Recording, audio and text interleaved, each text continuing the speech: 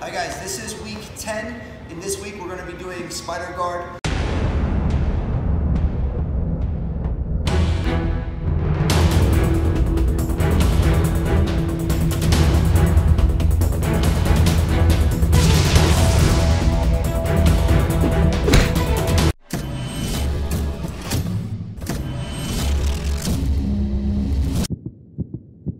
How I like to set it up is I get the grips, turn, bring my knee in, post it out, turn the other way, and kind of do the same thing, putting my feet on his hips.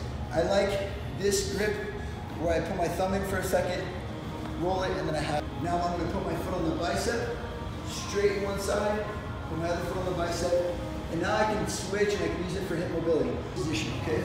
What I'm gonna do is I'm gonna take my foot off one side, okay, under, and at the same time kick over. And now I pull, grab my shin, lock it up, I have the triangle. Okay? So one more time really quick. Close guard, knee inside, knee to the foot to the hip, knee to the bicep. Here, here, he stands.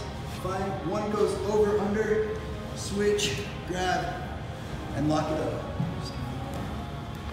Next one is I set up the spider guard, boom, and all I'm gonna do is rotate, and I'm, we call this the steering wheel, is I'm pulling down on this side, pushing up on that side, and he's gonna come to the ground, and now I go to the top.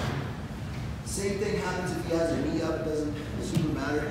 I have this, in this case, I'm gonna go this way, and just keep that pressure on top until I can climb up, okay?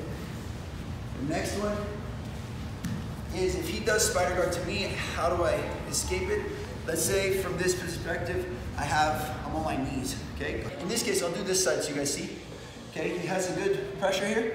I'm gonna take my knee and I'm gonna put it where his heel is. And then I drop my elbow on that side, down and under. And now I can start fighting to pass.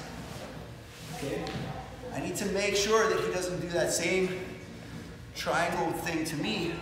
Once I've done this and I start peeling this off, I don't want him to drop this underneath me, right?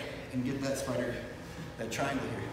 So he's here, take my knee and drop my elbow under, and I can start to pass, okay?